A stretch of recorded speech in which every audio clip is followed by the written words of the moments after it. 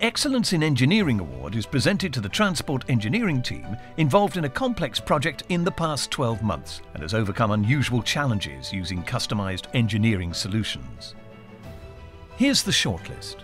Air Canada Cargo, Collett and Sons, Fesco, GPO Heavy Lift, and Mammoet. The judges were impressed with the high level of engineering expertise demonstrated, but the winner was praised for its extreme engineering complexity. The panel felt the level of engineering needed to complete this multimodal project was exceptionally high and required innovative solutions.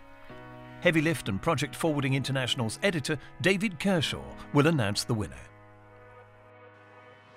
Hello, I'm David Kershaw, editor at Heavy Lift and Project Forwarding International.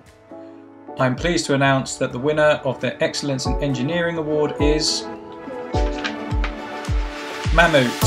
Congratulations. Mammoet scooped the top spot for its transport of the world's largest lock doors, from their manufacturer in South Korea to Amsterdam Port for the replacement of the doors for the Northern Lock in IJmuiden, the Netherlands.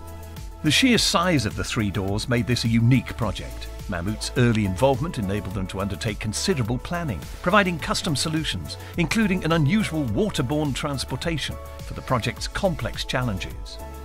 One judge commented that this entry would score very highly on just the deep sea work, but the local engineering also involved made this project truly impressive, going above and beyond the usual A to B shipment and making Mammoet a worthy winner of this prestigious award. Congratulations!